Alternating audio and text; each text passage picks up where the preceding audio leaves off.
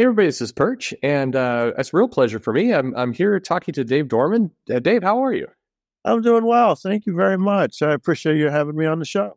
Yeah, absolutely. Um, was really excited to talk to you. I think um, I've followed your work for the entire time I've had a comic shop, and and uh, and so you've been a big seller for me. So thank you for that, by the way.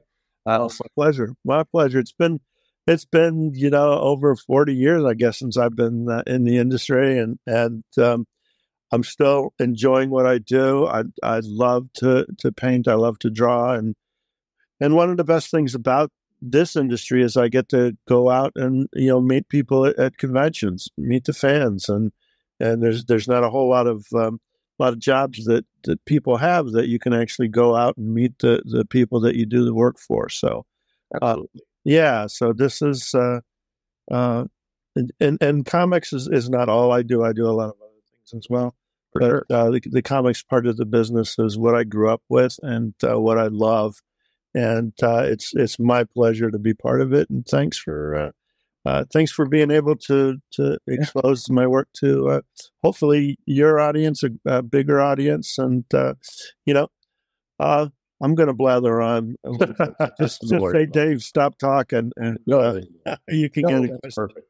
No, I, I, I think a lot of people will be excited to to hear from you because because there's a group of people through the years, of course, who know you, know you by name, know your style, um, and they know you're behind it. And then there's a whole other group of people that instantly recognize the art, but they don't know who it was that that did it. So right, um, you you kind of reference it. You've done a lot in comics. Um, you did, you, I mean, a lot of your career was Star Wars. Right. Yes. Some of the most iconic images we've seen there from Star Wars. Right. I was lucky to be in the right place at the right time with uh, Dark Horse Comics and uh, started out with uh, Dark Empire back in 1990, uh, right after the uh, dearth of really good Star Wars material for the fans. There was no no movies, no TV shows, no books, no comics. Marvel had stopped doing their run uh, of Star Wars years before that and um, uh, you know, I I came in with uh, um, uh, yeah, I'm gonna I'm gonna draw some blanks here. Uh, um, uh, uh, Tom Tom Veitch and and Cam Kennedy. Yes, yes. You know, uh, you know, working with Dark Empire, and then Timothy Zahn was doing the uh, yes the Thrawn trilogy and the paperback books, and those really started the new uh, new wave, you know, of the expanded universe in the Star Wars uh, uh, uh mythology. Well, it was powerful at the time. Like you mentioned, there wasn't, it's hard to imagine now that there was a moment where you didn't have a lot of Star Wars stuff out because there's, it is more than enough now. It uh, is very hard, yeah. Um, um, but, but that it, it, did happen. it did, and and it was also coming in an era where Marvel had let that license kind of expire, and and the end was more cartoonish or comic booky and and I I don't mean that as a negative a lot of my favorite artists definitely do that style but you came in and suddenly it was it was it was powerful for people because it was a very different way of visualizing Star Wars I think than they were used to Right. Well, one of the things that I wanted to do and, and what was agreed upon, you know, with uh, Dark Horse and uh, Lucasfilm was they wanted something that was more cinematic mm-hmm. um, in our approach.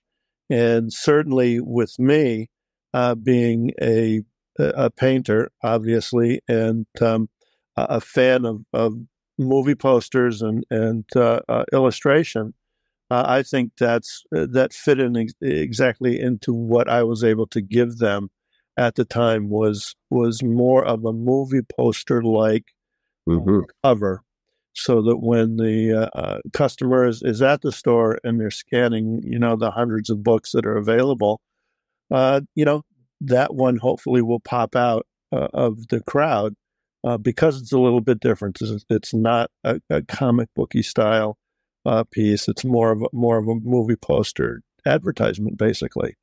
And so um, that's what I strive to, you know, give them in in the series and and all, all, the subsequent you know books that I did after that.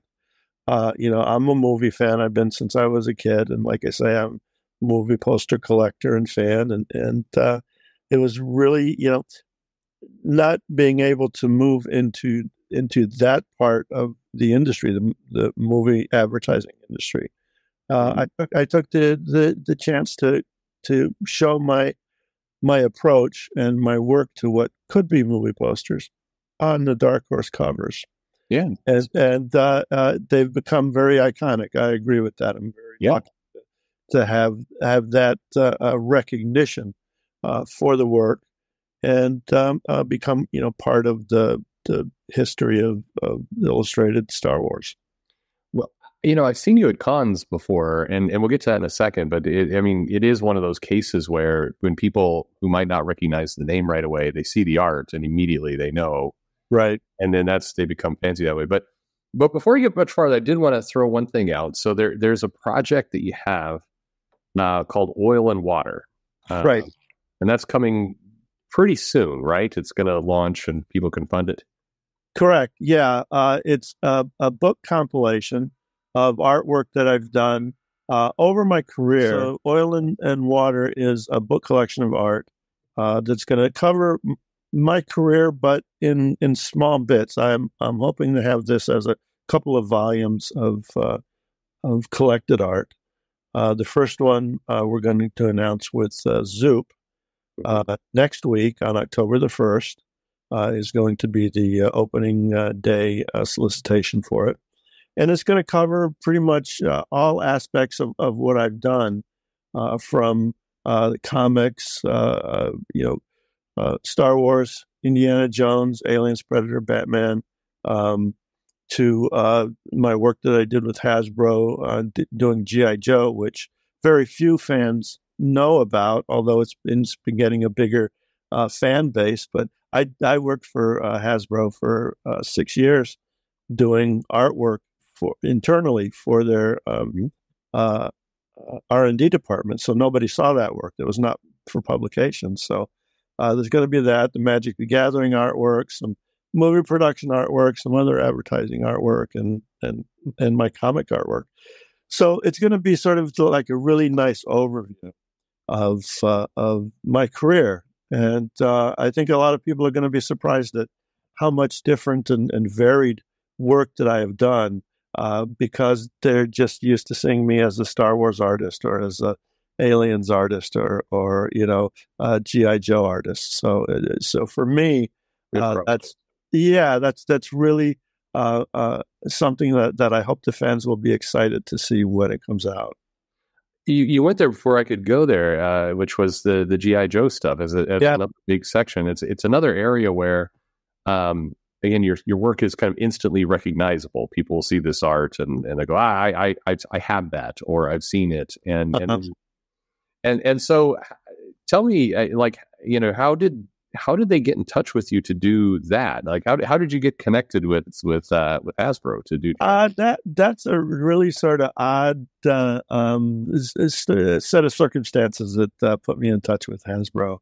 Um, so let me dig through my uh, um, age rattled brain and try to uh, try to get to the, the very start of that. Um, uh, I guess I guess really where it started was not with uh, with artwork at all.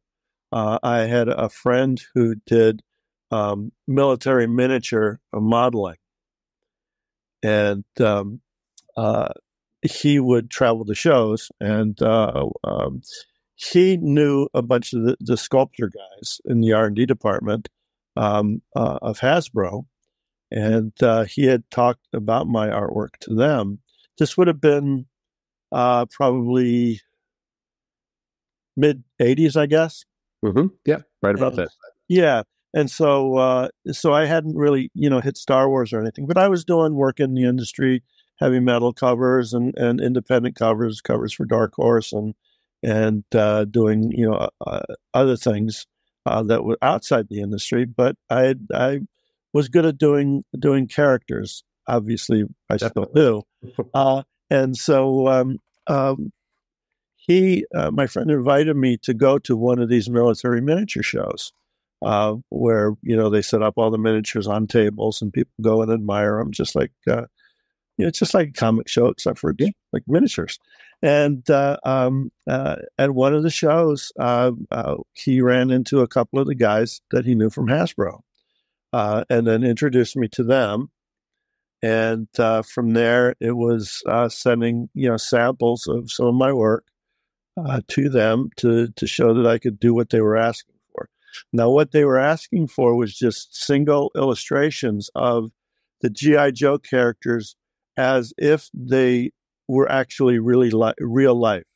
Right. So instead of seeing it as a jointed uh, uh, figure, a model, um, the uh, um, uh, the board of directors were able to see this presentation of what the character would actually look like if it was if he was alive. And that was that was what I love to do. You know, that was that's my forte. So uh, uh, so yeah, uh, they liked what they saw and uh, had me do a couple of, pieces uh, uh, for I, I, don't know the eighty four or eighty five um, uh, line, and uh, and after that, you know, I worked for six years doing about between eight and, and twelve pieces a year for them. And the paintings were were started out at eleven by fourteen and then turned into sixteen by twenty, a little bit larger. Um, but it was just just the characters. Now, they weren't supposed to be published anywhere. They were supposed to be for in-house uh, uh, promotion and and uh, uh referencing for the sculptors and the painters and the the uh, um, you know the R and D department to approve. And uh, most of the characters were approved. Some of them weren't, or some of them had to be redone. But that's part of the process of, of creating characters. Um, but yeah, so I ended up doing about a hundred ish pieces uh, for Hasbro GI Joe that nobody ever saw, and so my name was like a a, a ghost, you know, through the uh, GI Joe uh, um, uh collectors, uh, because the hardcore collectors knew who the creators were, uh, but that artwork really doesn't get out. So right. so they knew my name, but they didn't know the artwork. Well, fortunately, from the beginning of my career, I started keeping uh, photographic uh, uh, prints and and uh, film of all the work that I did. Smart. So I yeah, so I have all, all reproductions of all the artwork, and um, uh, a few years back, um, well, probably a little bit more than a few years back, I decided to do some small, um, like uh, five and a half by eight and a half little twenty four page booklets featuring the artwork, just to sell at shows uh, to let people know, you know, here, here's what I did. If you're really interested, you know, you can buy a book. And so, uh, um, so yeah, I did that. I ended up doing three of these small uh, books uh, featuring, you know, most of the work that I, had done in GI Joe, and uh, the fans love it. And you know, yeah. today, today I still get uh, email maybe once a week or once every two weeks. Some fans saying, "Hey, I know I, I saw that you released some book of this GI Joe artwork. You know, I still got them available. Yeah, I do. So, uh, you know, it's just one of those things that, uh, um, you know, a lot of artists do this in, in the industry. You know, they work on projects that, that aren't directly involved in comics. And that's a way uh, a lot of artists, uh, you know, can, can make that living is, uh, is work outside of the industry in a lot of cases you kind of have to don't you i mean it's it's you have to diversify somewhere the income comes otherwise it's, just hard to have a stable yeah if, if you're not a regular uh, artist on, on a regular book marvel or dc uh, then yeah there, there's uh, options that you need to have to be able to bring in that income that's mm-hmm. that's outside of what you love to do and and uh, so so yeah, it's it's something that I learned very early on was yeah. to, to, be diversified. That's, that's, smart. That's yeah. So that's why a lot of people are surprised when I say I've done this and I've done that and I've done it. Oh, really? And yep, it's just, yeah. No, you, you have to. I mean, you're you're not you're not in control of where these decisions are made. You have a different editor that comes in, for example, and you know you right. gap in your your income kind of out of yep. nowhere.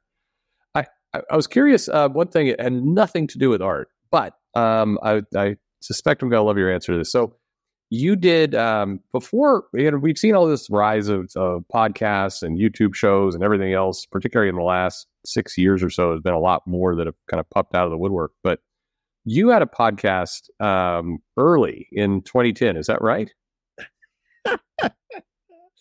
yeah, uh, me and and uh, my wife did a podcast. Uh, I think we did like six six episodes, and yeah, and you know it was just hard work. and uh, you know, I I envy you the ability to be able to do it on a regular basis. Well, it's easier now than it was in 2010, but I mean, yeah, but it, it was uh, you know because I know a lot of people in the industry, you know, peers that have been friends for for years and years and years, mm-hmm. and uh, are are always full of stories of of you know meeting you know old guys like you know Jack Kirby and and mm-hmm. John Buscema and and uh, uh, you know and, and, guys who, who at the at the time were at the top of their game, and so we just decided, uh, my wife and I, because she hears me talk to my friends on the phone, mm-hmm. yeah.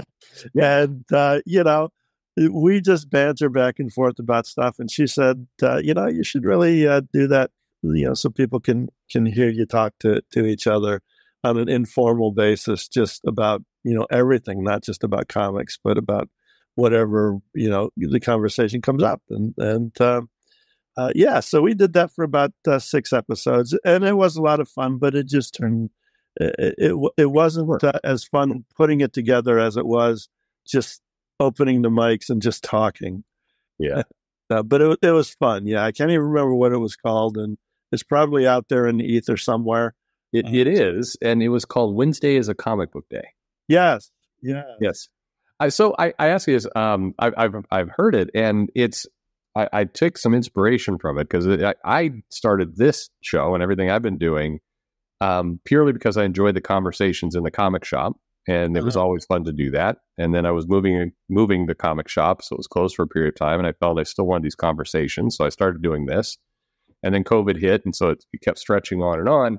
Um, but like you, the the talking like we're doing now is infinitely more fun than the editing and the posting and the, all that. That stuff yeah. is the worst part. Yeah, and and you know, uh, back then I think was probably the end uh, uh, of of an era, so to speak. It's when it's when the comic uh, conventions started to get really big, right? And it was hard to gather a small group of of peers and friends, artists, just to, you know, sit in a hotel room and just, you know, blather on about uh, anything under the sun. and uh, you know, the, the, shows just got too big, and dinners got too long, and and uh, you know, commissions, you know, took over the evenings, and and uh, it just it just stopped. Uh, really, then I haven't I haven't enjoyed um, having a really good comic conversation with a small group of peers since then, really. Uh, yeah, it is, and and it's something that's that's missed, and um, you know, it's just one of those things that time time just changes things over over years. Uh, but you know, I still get to see my friends and and uh, um, you know people whose work I, I enjoy at shows. You know, fortunately, that's still happening. Um, I missed you. Um, I think last year, so I, I often go to the uh, the Bell County Comic Con, which is down in oh, okay. south of uh, south of Dallas. In right, right. But that's I, I'm curious. I, I like that show. I, I like the smaller cons are definitely the favorites for me. I, I go to San Diego, go to New York, but um, the smaller cons you at least have more of a chance to have some of those conversations you're talking about. Oh, absolutely. I I really break conventions down for me into really business conventions um, mm-hmm. because they're they're so um, uh, not in a nasty way, but they're oppressive. There's yeah. so much going on, and your concentration is is broken up, and you can't have a, a, a lengthy conversation because there's a lot of people there, and uh, there, there's so much going on during that weekend. And then you have the casual conventions, which are very, um, uh, once again, not to be derogatory, but they're much slower conventions where you can take the time to talk to fans. Bell County is like that. Uh, one of the bigger shows uh, that is like that is um, um, Shelton Drum Show. Uh, Heroes uh, aren't hard to find uh, in uh, North Carolina. Uh, that's a that's a very big show, but it's a very casual show. Yeah. and you get the chance to talk to the fans uh, at that show, and so that's one of the reasons why I like to do um, a couple of big shows and a couple of small shows uh, every year. I'll do New York and and uh, San Diego and uh, C2E2. Um, Yeah. Although C2E2 now that I'm not living in Chicago uh, anymore might be a little bit uh, a little bit more difficult, but I'll put that I'll put that in the schedule because it's always been a good show.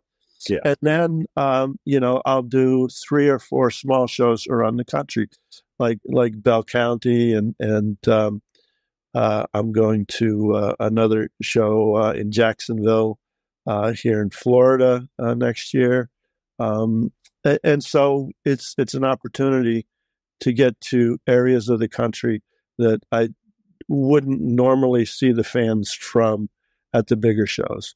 Yeah. Uh, and you know, I um I don't know if it's common. I've never really talked to any other creators, you know, about how they approach shows, but you know, it's just one of those things that that I kept in in my head uh, when I started going to shows. What I realized is that you know people can afford to go to the big shows, but a lot of people can't. And so I've chosen shows in various parts of the country that I haven't gone to before because uh, I think those fans appreciate that, that I would take the time to uh, uh, accept an invitation from somewhere that's not, you know, a big city, doesn't have a big budget, and, and you know, it's just for me to get out and meet the fans, and uh, that's that's the big joy for me. Yeah, it's it's it's. T- I think a lot of people do. I mean, we've had um, a couple artists. We've had Sean Murphy here talking about kind of his his convention strategy and and just you know and but a similar thing. You know, you have some big shows that are going to be kind of money making shows where it's hustling for business. Like you said, I like I like the word you use. It is it is um it is it is that overwhelming. It's that uh, you know just too much going on. It's very hard Yeah, to track. Yeah, and that's that's one of the things that that I I I that has sort of made me stop doing uh, drawings, uh, big big drawings at the show. I I can do sketches and remarks and stuff at the show, but some people want a bigger uh, a piece, you know, a nine by twelve or something with more detail, and and uh, I can't do that uh, at a show because there's so much um, input, so much sensory input Yeah. going on that I can't concentrate on drawing. So. Uh, so I'll do a smaller thing where I don't have to think as much, but um, uh, the fans uh, uh, are are more often um, okay with me taking something back to the room and doing it overnight, where I can sit and quiet and play some music and and you know be in a more studio uh, type setup uh, where I, I can draw with a little bit more concentration. Uh, so yeah, I've I've had to apologize a little bit uh, because I you know I know there are artists that can just sit down and, and you know crank out some really beautiful artwork right at their table at shows and and you know i'm just not one of those um, So many people I talk to are, are like you, though. They they have to, you know, with, you got the fan, the hum, the noise, people coming in and Mhm. out, grabbing onto your table. There's just you're constantly interrupted. It's just very hard to get. focused. right it is yes Um, I, I asked this to everybody, so hopefully it's not too much of a personal question. But what uh, you do? You, you do commissions? You have people come up and ask you to do certain things. I'm assuming. oh, oh yeah all, all the time and uh, now you know i'm i'm uh, i'll be honest i'm 65 you know i've i spent a good you know 40 years in the industry and uh, it's been working you know on other people's projects for the most part Right. And so a couple of years ago, I decided I was going to cut down on on some of that work and start doing some work uh, of my own. So I started doing some of my own paintings for myself, uh, choosing projects that I know I would have more fun with, and finally, to the to the pleasure of a lot of my fans, taking commissions. Because up until about maybe five years ago, or or just a little bit longer, I hadn't done any commissions at all. And so, uh, so yeah, uh, basically, uh, uh, part of my income now uh, is taking commissions, and uh, uh, you know, and I'd I'd say you know, 60, 70 percent are Star Wars, Sure. No. No. It, and and I'm not I'm I'm not going to knock that at all. You know, I, I I know that I made my career in Star Wars, and I love playing in that sandbox. I love that. I, I there's there's people have been you know bothered by kind of what what gave them the popularity or where, where a lot of people came from, and I'm, it's it's yeah it's, it's always better to me when people can take joy out of it because that's certainly what the what the fans have. But but um but I want to ask you. So uh, I I've asked this to to Sean of Kari of, of kind of a bunch of different artists. Um, what's the what's the weirdest commission somebody asked you to do? I can't talk about that in a podcast of this nature. It's definitely not safe for work. That's fair. And I turned I turned it down. Yeah, that's what everybody says. Almost exactly like that. Yeah. Um, uh, I, have I've done weird things. So I had one uh, client uh, that asked me to do um, uh, a, a, a, female uh, actress with mm-hmm. the uh, body of, of an animal. Yeah, sounds right. And you know, I did that, but I I I felt icky afterwards and, and uh, you know, I yeah. So I've I've said no to quite a few. Uh, yeah, quite a few commissions because I'm I'm just not that guy. Uh, I'm sure there are other artists. Well, I know there are other artists that that would that would do that with a, a more sense of uh, uh, interest. But yeah. for me, you know, there there has to be something that I can invest, you know, that little bit of myself into to make it sure uh, you know, a nice piece. You have to. I, I had an artist on the on the show once who he he got into this run where he had a lot of fans asking for feet, pictures of feet, and it, yeah, he said it just got weirder and weirder and weirder, and it's like, yeah, okay, we're stopping there. I can understand. well, okay, so uh, kind of shifting gears again, yeah. and and again, um, I want to encourage everybody you're listening to this. Uh, there's a project, Oil and Water: The Art of Dave Dorman. It's uh, it's on Zoop coming here. It should be. I think we'll we release this on the day it releases, so you should be able to go get to it. Links okay. description everywhere. So go go grab that. But in terms of your your um, your your education, because um, you know I, I talked to uh, the family of Ed Piskor recently, and and a couple different people, and they have a similar one part of a similar story. I think to, I think to you. So you you uh, your your colleges or when you when you attended university. Um, you it, it I, I, believe if this is correct, if I've done my research right, you, you you attended for like a year and then you went to a different you went to the Kubert school and then you attended a year. Is that is that right? How you're Yeah, give your researcher a, a dollar for that. Excellent. Okay. Yeah. Um so uh, I came from a military family and we moved around a lot. I'll, I'll give you the Kamala um, Harris answer. Uh, yeah, I'm a middle class, uh, uh, you know, kid Aren't we all? Oh, yeah. middle class. Uh, anyway, um, uh, yeah. So uh, when I was growing up, uh, we moved around a lot. Dad was Air Force, and uh, we couldn't really keep. Um, uh, I'm go- I'm going way before school, so I can no worries to, to how I got to school. Um, and one of the few things that that I was able to bring, you know, I had I had an older brother and younger sister, and, and we each had our own things that we could bring from from base to base and house to house. And and one of the things that uh, I I brought was my my minuscule comic book collection uh, because I loved comics and and uh, I loved reading them and I loved the artwork. And so that was something that that is a fond memory of, of for me uh, in my younger years. And then um, uh, in I got into high school and I started drawing and, and painting about that time, uh, not seriously, but as as just an expression of, of how much I loved that art form. Right. And uh, uh, you know, I was a, I got to be a little bit more of a comic collector when we uh, ended up outside of Washington D.C. and and lived there for ten years uh, in my teen years and, and growing up, and so I was able to buy more comics and keep more comics, which for me was more reference of artwork and cool stuff that uh, you know I could learn from. And uh, uh, in uh, in high school, um, you know, the uh, pressure was made, uh, you know, as as it is with with every kid. You know, what you got to do with your life. And I was I was planning on going to school with a football scholarship um, because we were we had a very good football team and, and I really enjoyed playing football. Um, but uh, uh, in the senior year, I banged up my knee and, and couldn't play anymore. Mm. so you know, I had to make a decision. You know, no scholarship for Dave, no no free ride at uh, at school. Uh, you know, while while he makes up his mind on what he wants to do, and so uh, uh, you know, in, in my uh, senior year, I just you know said, okay, I'm going to be an artist, and so I I sat down and I just spent all my time uh, drawing and painting, all my free time and uh, I really loved it. And my parents really saw how much I loved it as well.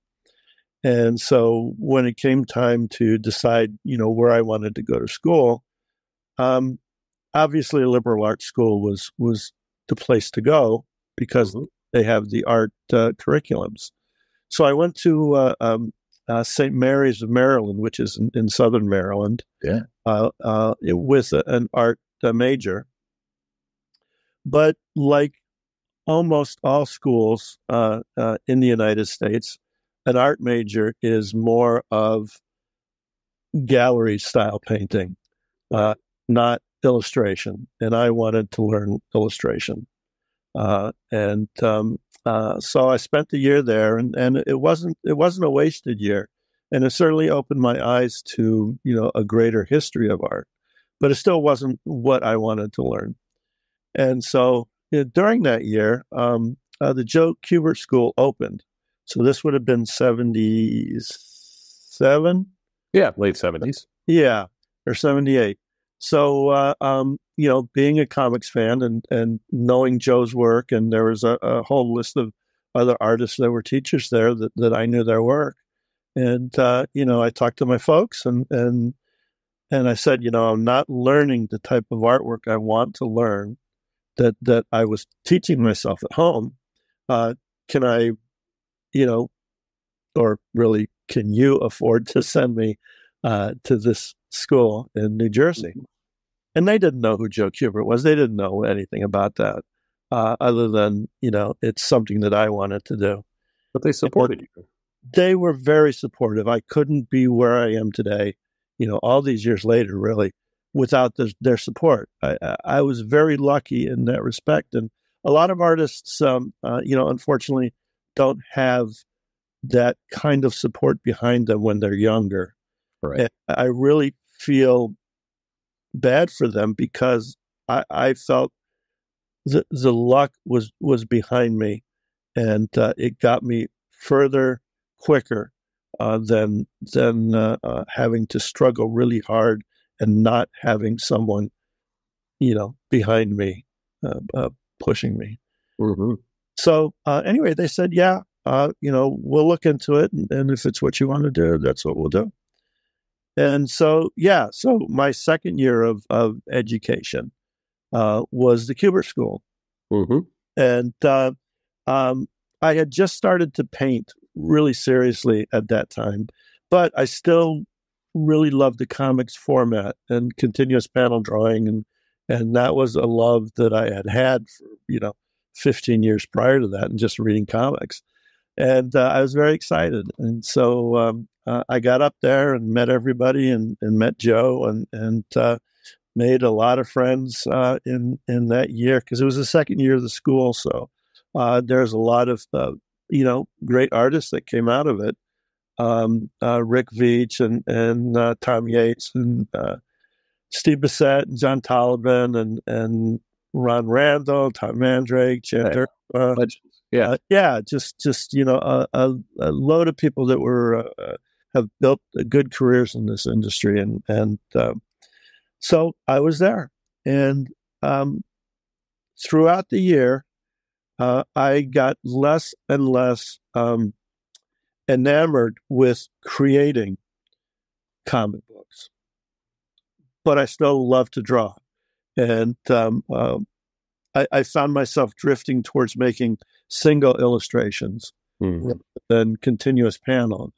The, pages that I would do, I'd put more work into each individual single panel than should have been because that's where my focus was. I, I couldn't focus on on telling that story six panels on a page for 24 pages. Um, and uh, so at the end of the year, uh, Joe called me into his office and said, uh, uh, uh Dave, you know, we've seen your painting because I was doing some painting at the school as well, uh, and uh, we, we've looked at what you're doing, and um, uh, he said you're doing very well in what you're doing, but it's not a direction that the school can can give you anything more with, because he knew I he he knew I wanted to do single illustration, which is what painting was about, right? And uh, they had no color curriculum at all in those years. Yeah. It was just black and white uh, pen, pencil, pen, and ink drawing. And so he said, he said, Dave, I, I'm going to advise you not to come back next year because it's a waste of money. And now, whoever heard of a school saying to a student, "Hey, don't come back," you know, we don't want we don't want your money. Just incredible. I, I, yeah, that that's certainly not how it is today, but but yeah, that's that's some nice ethics on the part of Joe. Yeah, yeah, it, it was. And so, you know, I took that advice. You know, I I I you know, talked to my folks and and you know, I moved back home. And for about 3 years, uh, I lived at home. I had a little little drawing area. I had a, I had a bigger bedroom in the house, so I had a drawing area um, uh, in the bedroom, and I got a part time job. And I every you know waking hour, I, I would uh, just sit at the drawing table and I would draw and I would paint and I would look at, at other artists and be inspired by the types of illustration that, that I wanted to learn. And I, you know, just knuckled down to the drawing board and, and I learned it. And uh, so after, and, and I, I put this in, in, in my head. And it, it took me about three years to make my first professional sale which was a cover for Heavy Metal magazine. Right. So I look at it as my four years of college, which was really, you know, five years per se. But, you know, it was those three years I would have been in a, a normal college, uh, just, you know, being a, a freshman, sophomore, junior, senior, and then, you know, be kicked out into the real world. So after three years of, of doing it myself, I started getting professional work. Mm-hmm. And and it was from going to shows and going to New York. It was before the internet. So I'd get my portfolio and I'd hop on a train from Washington, D.C. to New York City and be dropped off in the middle of uh, uh, middle of New York at uh, you know Madison Square Garden Station, and it'd be like that uh, those those movies where the camera sort of goes around you, uh, looking up at the sky as scrapers and uh, you walk it through the city. And uh, that's what it was. I mean, I was sending out the photographic portfolios to the publishers, and and uh, once a year, I was taking a trip to New York. And yeah. there's some romance to that. I mean, it's it's it is the self-taught artist. Um, yeah, certainly learning uh, some in college, but just then pursuing your dream. I just I'm fascinated by the. I didn't know this part. You were you were on a track to be a football player. I was, and then but wound up becoming one of the most prolific Star Wars artists in the in the world. It's I, that's that's that's a hell of a transition there.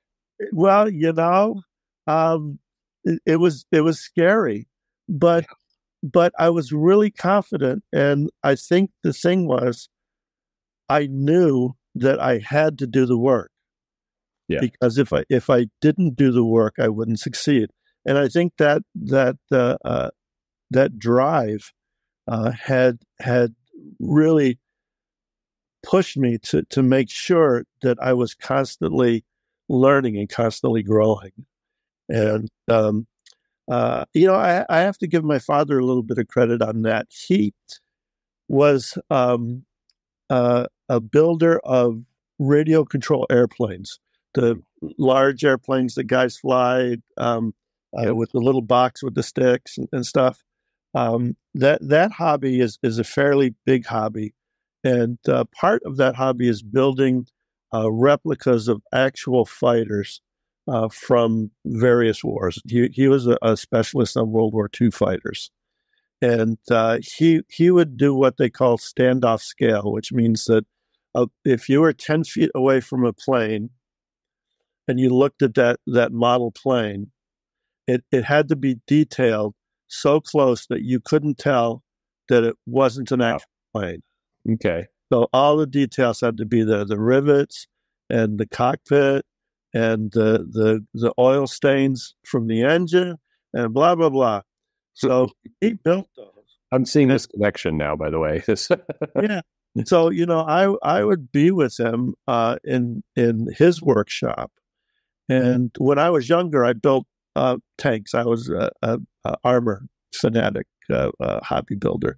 So I built uh, tanks, mo- model tanks, plastic tanks, and painted them and, and did all that stuff. But it was in the same uh, workshop that my dad was in. So I, I had, uh, and, and I think this really uh, affected me sort of subconsciously, uh, seeing him devote so much time to making sure that those details were, were perfect for the reference that he was using for whatever specific plane that he was making a replica of. And, and I, I really do think think back and, and think that yeah that was instilled in me uh, when I decided to uh, move into illustration uh, as my work. Yep. No, you can you can see it here. I mean, you're you're credited often for the the hyper realistic, but also the mm-hmm. detail. Mm-hmm. usually hit that part second, but the yeah detail that goes into every piece is is always yeah, and and certainly that was something that that I love to do. Not not just give an overall impression of a scene or a character, but you know, go in and, and work with you know, little details on, you know, belts and, and guns and, you know, hinges and, and things that, uh, that people don't see right away. But I know that there are a lot of fans that like to look at the art, not just, uh, it, not just experience it as, as a whole, but look at the detail. And that's of my interest, uh, in creating those pieces is, is being able to look into it, you know, step up to it, you know, a foot away and say, you know, wow, that's that's really interesting the way this was done or that was done or something like that. It's always eye catching, again, being at, at cons and seeing your setup and and walking by and the, the conventions it's it's a little bit like being in Times Square, but a couple feet from the billboard. So it's like very it's very overwhelming. But I, I've watched many people come by, they hit your uh, your area and there and there's a there's a pause there because it's just so strikingly different. It's uh, yeah, yeah, it, it is, and and it's it's different than uh, uh, you know just a lot of the comic book stuff. Uh, n- not saying that that every comic book artist is the same, but uh, I I approach what I do in a little bit different manner, being mm-hmm. a little bit more colorful or a little bit more bold, or um, and that that's what I'm hired for is to make people stop and look uh, at at whatever product I'm I'm promoting. You know, no, the the marketing of it, really, yeah, there. Yeah. Um, you you mentioned you're you know being a fan of comics, reading comics. Um, is there any like what the last couple years? Is there any comic that that you're really hooked on, or something that you've been you've been reading? Um, you know, it, it's really funny that over the past, I'd say about five to eight years, my my reading of comics has changed uh, quite a bit, uh, and I guess it, it's becoming an old guy. now, now. But you know, you know, I, I I think that it's just the buildup of the disillusionment of yeah superheroes over the years. What I grew up with, and, and even even in the eighties, they were okay. In nineties, they started to change, and and mm-hmm. you know, after 2000s, everything just really changed a lot. And, and I started uh, uh, not enjoying uh, a lot of what was being done in the American comics field. And I'm talking about the the main, you know, Marvel, yeah, DC, guys. Yeah, yeah. So I started reading uh, a lot of um, European translated uh, um, uh, product and manga. You know, I I I never really enjoyed anime um, uh, during the, the 80s and the 90s, uh, even though I did Robotech covers for uh, mm-hmm. like three or four years for Comico. Um, but, yeah. You know, it, it, was just the, the, art in, in the anime um, wasn't exciting enough. Being a movie fan, you know, um, yeah, anime to, to movies. And so it just wasn't there. But um, uh, just over the past couple of years, I've started to um, to watch anime a little bit more, and I, I found that the the writing of the material is is far superior than what I thought it was. Mhm. Which makes the animation not as uh, simple, I guess would be the the description. Yeah, that Uh, makes sense. Uh, you know, the the story carries the uh, story. Yeah, no, I Uh, I think a lot of people can relate to that, and and it also makes sense. I think the anime was a lot more simplistic if you look back ten years ago, there or even or, and further back for sure. Right.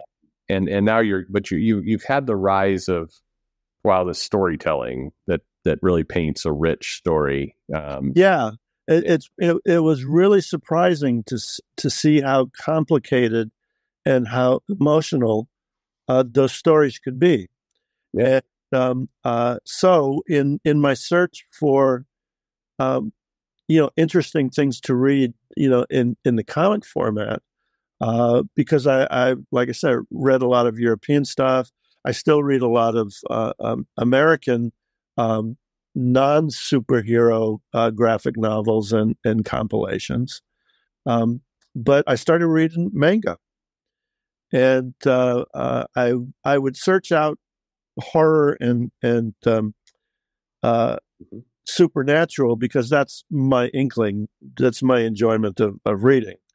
Um, uh, and so uh, I started, you know, picking up stuff, and I look at the artwork first because they have a very different way of, of expressing themselves artistically uh, in in Japan and and Yeah.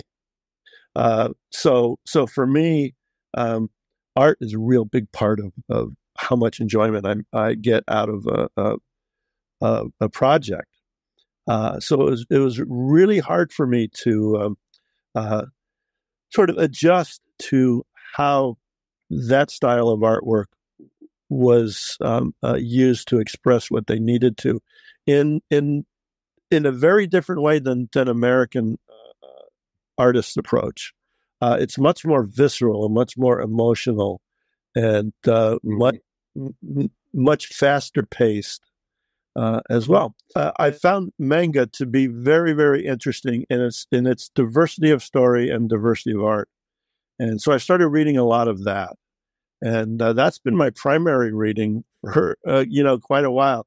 I go to this to the comic store every week and, and I look at what's being done and I buy a few things. You know, I love Hellboy and and uh, mhm. um, uh, what else do I buy regular? Uh, Conan the Barbarian, the new Conan uh, book. Um, probably a couple of others. Mo- most of uh, most of the ones are usually um, miniseries, and, I, and I'll just you know, pick them up and, and wait until the four issues or six issues are, are done, and then I'll read the whole thing. Um, but uh, manga uh, coming in, I guess, so late. Uh, you know, there's just dozens and dozens of volumes of series out there that uh, if I if I love it, you know, buying the first one, you know, I know there's 24 more books that I can read Right. uh, that uh, that are are going to be fun, and so I'm, I'm not disappointed when when the one ends that there's not going to be any more. Uh, so that that's a, an interesting uh, um, approach to to reading. But the the uh, um, the art, believe it or not, uh, that's starting to influence me a little bit. Oh yeah. Yeah, I've been uh, looking at a lot of um, uh, Asian art, Japanese, Korean, Chinese uh, uh, art, uh, and a lot of that is stylized, not necessarily, excuse me, not necessarily uh, in the manga style, but their approach to the stylization of of, of people and, and animals and, and such. And um, I guess you know I've gotten to the point where I'm I'm very satisfied, or I, I know that I've gotten to a point where I've been very satisfied with my style, and and I always try to to challenge myself in in every piece to be able to keep it interesting and Yeah. to, to move forward as an artist. And um, just over the past four or five years, I've really been intrigued by uh, um, finding a lot of these Asian artists and, and artwork and seeing what's being done over there. Um, uh, and in just the, the style and the boldness of, of uh, the art. And, and I, I think a lot of it has to do with uh, the culture of, of art being passed on generation to generation, Mhm. um, and and the uh, um, uh, the purpose of the art and the desire to to create makes that art much more um, not dynamic's not the word, but much more uh, rich, maybe. Rich, yes, rich. That's that's a good word for it. And Yeah. so, uh, um, you know, I, I don't know if it's really obvious in what I'm doing in in my new artwork uh, for the stuff that I'm doing for myself. Yeah. Uh, but you know, I'm I'm allowing some of that to influence me a little bit so that I can push myself into a, a little bit of a different direction in, in some of the pieces. And uh, you know, it's it's well, it's it's like you know, uh, in when I started out, you know, I was I was uh, learning from Frazetta and Boris Vallejo, and then uh, you know, in the '80s, uh, I started uh, uh, looking more at uh, uh, Richard Amsel and and uh, Drew Struzan for movie posters, and and uh, uh, Tommy Jung, and and then in the uh, uh, 80s and 90s, it was just a, a, plethora of learning about illustrators from the, the 1900s to the 1940s, and Yeah. and uh, you know now it's uh, it's taking it to, well, and then you know Moebius and Enki Bilal and and uh, Yes. uh, you know Philip Druillet and and uh, Francois Schuiten and these guys from France. And so you know it's it's my, my career has just been a, a, a sponge, sort of you know having all these influences come into me, and I think a lot of artists are that way.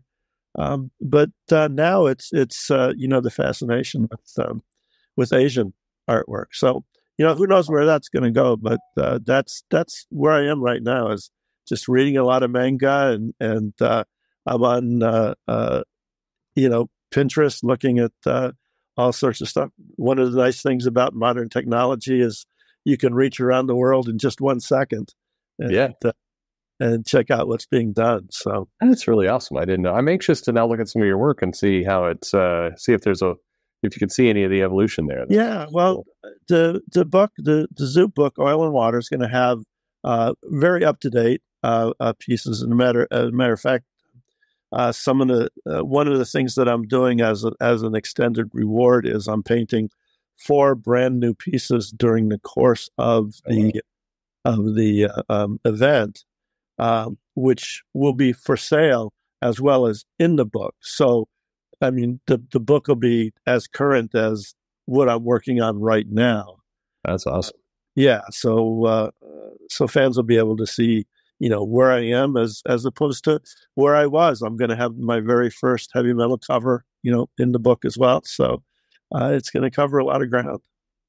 No, that's that's really cool. Um, and and again, uh, so I mean, we've talked through it, and then kind of time's flying by, but um, you know, we're just. I'll say something I said at the beginning. A lot of people will look at your work and they will recognize something and then put it together. You know, this guy who did Indiana Jones and who did Star Wars and who did GI Joe and and also a lot of a lot of your own things and, and, and for that matter, a lot of kind of classic comic characters. You did you did some big work for Marvel and some big work for Right. DC, you know, and Right. and um, it's it is uh, it's really impressive just the sheer volume of what you've done and the people you've worked for. You've you've done uh, work in film. You've done things for some of the you know the biggest studios, biggest movies, comics. I mean, and, and Like- trading card games. yeah. Like it, it, it's it's an incredible, incredible career.